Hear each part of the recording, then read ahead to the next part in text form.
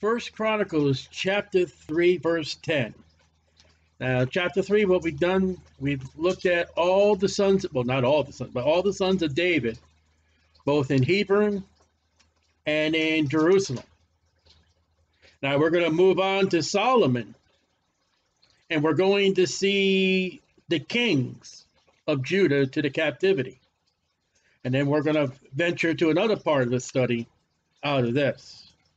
So, verse 10, picking up from last night, and Solomon, line of Jesus Christ.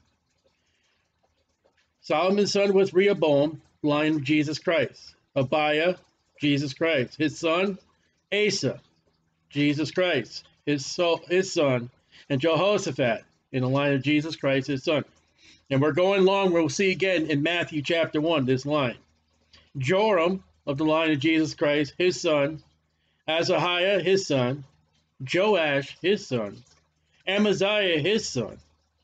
Azariah, line of Jesus Christ, his son. Joram, his son, line of Jesus Christ. Ahaz, of Jesus Christ, his son. Hezekiah, of Jesus Christ, his son. Manasseh, in the line of Jesus Christ, his son.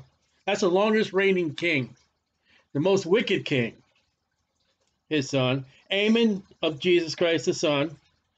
Josiah, his son, of Jesus Christ, and the sons of Jos- Josiah were the firstborn Jehohanan of Jesus Christ, the second Jehoiakim, the third Zedekiah, the fourth Shalom, which is Je- Jehoaz. Now, some of the names in the Bible that cause troubles, they got other names, other spellings. Like Matthew, we're going to look already. There's different spellings. Well, Matthew is in the Greek if I can say that. And the sons of Jehoiakim, Je, Je, yeah, Jeconiah, his son, and Zedekiah, his son. And we're going into captivity now. And the sons of Je, Je, Jehoiada, or Je, Jeconiah, excuse me, Azar, Salathiel, in the line of Jesus Christ, his son. Malchiram also, Pedaiah, and Shethizer, and Jecamiah, Hoshama, and Nedabiah. And the sons of Pedaiah were Zerubbabel. That's the last name mentioned in Matthew 1 as far as this list. You will not find any more names down to 24 in Matthew. Now, Matthew's got more names. Shimmerai and the sons of Zerubbabel. Mishama, you won't find out, or Hamniel, and Shelomith, their sister. So Shelomith is a daughter. Now notice when it when there's a girl mentioned, it will say daughter. And Hashabath and Ohel and Berechiah and Hasadiah and Joshab, Joshahathith, five. The sons of Hedaniah, Peliath, and Jesaiah, the sons of Rephaiah, the sons of Arnan, the sons of Obadiah, the sons of Shechaniah, the sons of Shechaniah, Shemaiah, the sons of Shemaiah, Hittaj, and Egiel. Now these are the sons of David, and Baro, his family of David, and Naharael and Saphat, six. The sons of Neriah, Eli Oneo, Oniah, and Hezekiah, and Azrikam, three. The sons of El- Eloniah were Hodaiah, Ishalihib, great names, and Pedaliah, and Akkub, and Jonathan, and Galiliah, and Ananiah, seven. Now that's not the end, because we go back to these kings, and we get an interesting account here. Because when we run these counts here, and when we look at Matthew, you can, go to Matthew. Matthew has 13 kings while we just read 20 of them. So there are kings missing. And Matthew that is not found in the Old Testament list that we just read. In Matthew, find Rehoboam, which is Rehoboam, Abia, which is Abijah, Asa, Asa, Jehoshaphat, Jehoshaphat, Joram and Jehoram, o- o- Ozias and Uzziah, Jotham and Jotham, you know who's Jotham, and Ahaz, spelling different, Ahaz. Ezekias, Hezekiah. Manasseh, Manasseh. Amon is the same. Jos- Joaz, Josiah. Jeconiah, and Jehoiakim. Now, the seven miss- missing is Azariah, Athaliah. Now, that is a woman. We're looking at the, the, the sons. And remember, I said if there's a woman in the list, it will say daughter or wife or there. She's totally wiped out. Joash, Amaziah, Jehoaz, Jehoiakim, and Zedekiah, though they're in the Chronicles, the Holy Spirit says, as far as recording in the line of Jesus Christ, his family, it's done. Don't don't include their names. Now, Azariah, 2 Kings 8, 25 to 27. In the twelfth year of uh, Joram, the son of Ahab of Israel, did Azariah, the son of Joram, king of Judah, begin to reign. He reigned 22, he reigned two and 20 years, try to get, excuse me. Two and 20 years old was Azariah when he began to reign. He reigned one year in Jerusalem. His mother's name was Athaliah. That's that one woman king, queen, the daughter of Omri, king of Israel. We're into Ahab and the family of Ahab and Jezebel. That ought to give you a clue right there.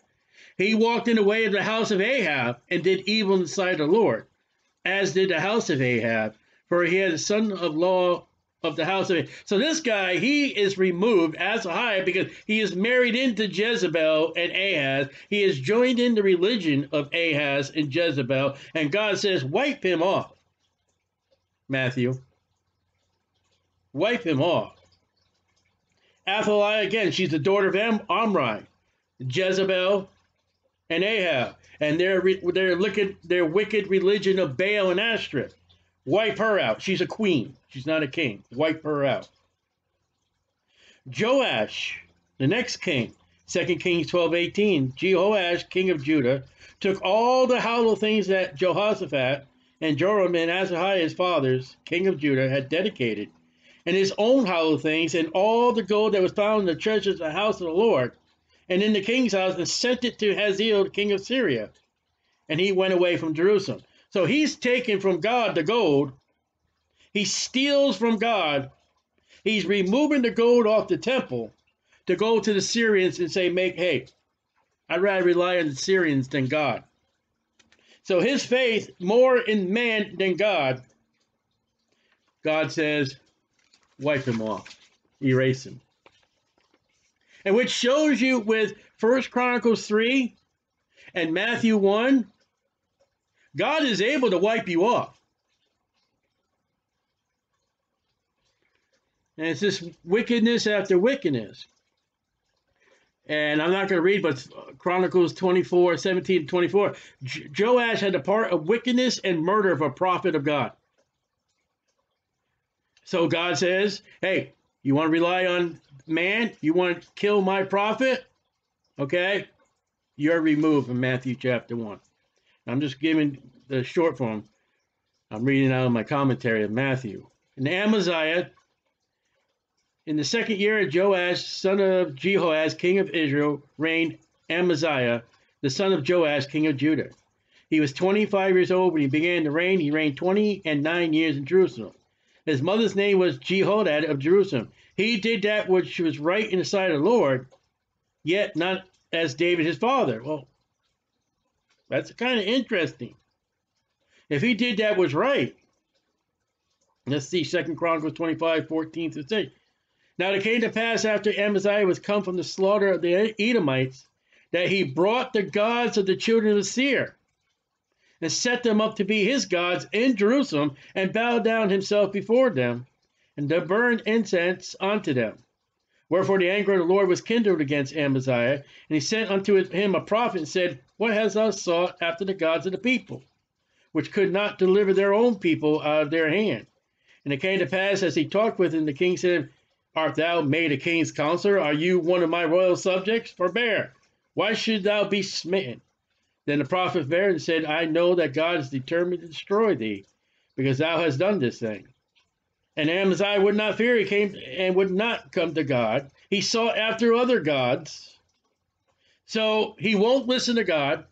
He's brought another religion back into Jerusalem, and for his rebellion against God and God's prophet, wipe him off the list. Jehoaz, when you find 2 Kings 23, verses 31, I'm not going to read the whole thing anymore. I'm just going to read the sins. He did that which was evil in the sight of the Lord. Uh, he gave tribute to Pharaoh Necho. He was he was evil and done evil, evil that has been taught from his father, from his father, from his father. He relied on Egypt. He did not do that what was right, and God said, wipe his name off. Jehoiakim, 2 Kings 23, 36, uh, he did evil in the sight of the Lord, according to his fathers. In Jeremiah 26 to 20, and there was also a man that prophesied in the name of the Lord, Urijah, the son of Shemaiah of Kirjath Jearim who prophesied against the city and against this land according to all the words of Jeremiah. And when Jehoiakim the king, with all his mighty men, with all his princes, heard his words, the king sought to put him to death. But when Urijah heard it, he was afraid, fled, and went to Egypt. And Jehoiakim the king sent men into Egypt, namely Ethanel the son of Achbor, and certain men of men with him into Egypt, and fetched forth Urijah out of Egypt, and brought him to Jehoiakim the king, who Jeremiah uh, so here's a prophet that came to Jehoiakim. And Jehoiakim puts him to death. He runs off to Egypt. He seeks him to death. Now, this is interesting. Look at Jeremiah 36. Jeremiah 36. And I don't realize this is the king in Jeremiah 36, verses 23.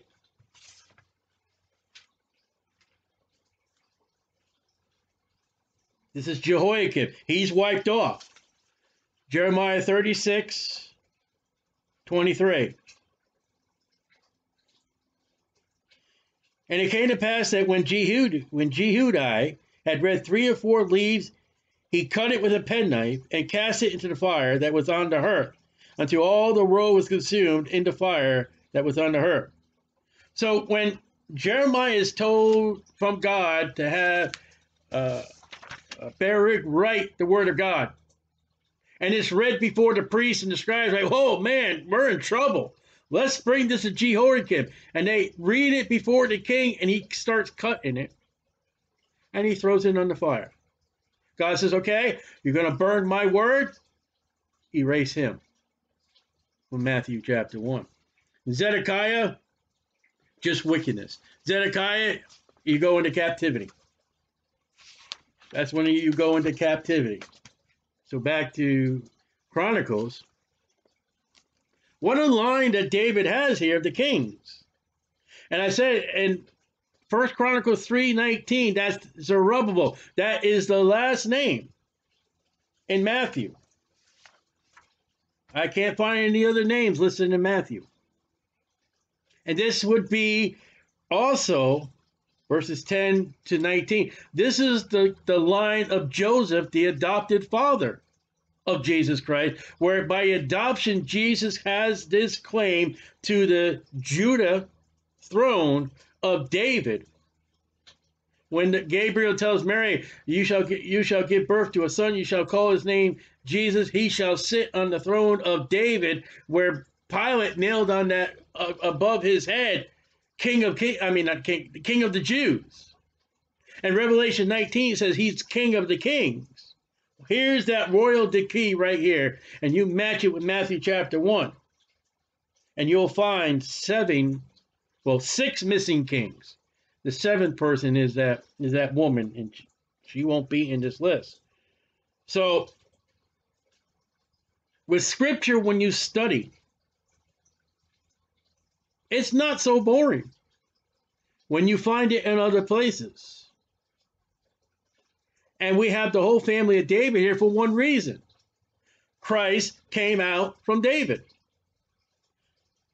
Solomon, Rehoboam, Abia, Asa, Jehoshaphat, Joram, Azariah, Ahaz, Hezekiah, Manasseh, Amon, Josiah, Jonathan, Shalamithio, and Zerubbabel.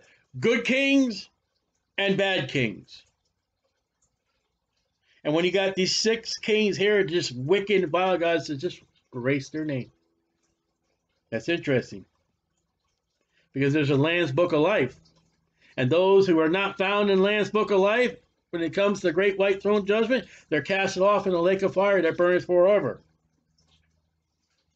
Now, again, Solomon's name there, Asa, Jehoshaphat, the names that I told you of Christ, are these men going to be in glory when we see them? But you're missing Azahiah, you miss Joash, Amaziah, Jehoiakim, Zedekiah, Shalom, which is Jehoah. You're missing those names. I don't think you're going to see them in glory. Though their name is in Chronicles, they're not in the line of Jesus Christ. Chronicles is a book of men. Matthew is a book of the King Jesus Christ of the Jews. And there are missing people. And I wonder how many people have ever, oh, you know, Chronicles is boring. Matthew, you got the three kings wrong. But do you ever have you ever realized that in the genealogy of Jesus Christ, except for from this outline in this study tonight, you ever realize that six of those kings were missing? Seven counting a queen. Study to show thyself approved unto God, a workman that needs not to be ashamed, rightly divine the word of truth. And then when you do a study of those kings that are missing, hmm, you better do right.